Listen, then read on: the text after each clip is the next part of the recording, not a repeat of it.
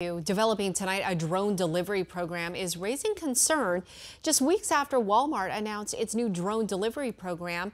Neighbors in Glendale are trying to get the program grounded. That's right. We sent Team 12 photojournalist Chris Latella out to that neighborhood to see what has the neighborhood buzzing. Look to the sky the next time you order something from Walmart, as their new DroneUp program has packages weighing less than 10 pounds coming to you via drones in some neighborhoods. I came out and I saw that there was just a large flying object above my yard, um, and then that's when I realized that it was a drone. Autumn Johnson is one of the homeowners in this North Glendale neighborhood that's become a testing zone for Walmart's new drone delivery program.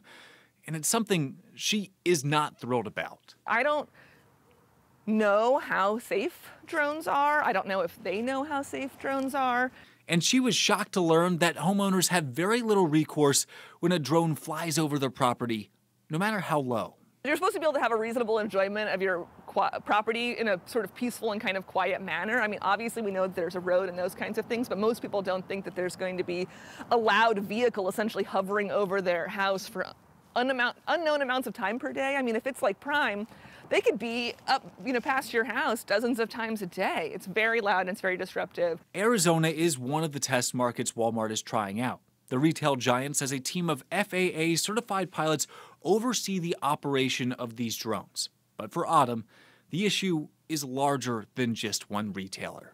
There aren't any laws that protect us um, for privacy, for nuisance, or for safety. And so I'd like to see some legislation enacted before drone delivery becomes pervasive. Well, Walmart is testing its drone delivery in 36 stores across the country, including two in Glendale and two in Peoria. Last year, the retailer said they completed more than 6,000 deliveries. In a statement, Walmart said, quote, we care deeply about the communities we serve and are always appreciative to hear feedback. Customer safety and privacy is a top priority and will continue to work with community members to ensure our delivery methods are consistent with their needs and desires, end quote.